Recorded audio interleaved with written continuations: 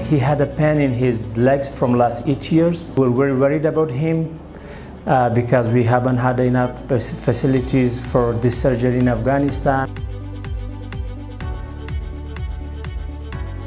Uh, I was looking online and I found out about Marham.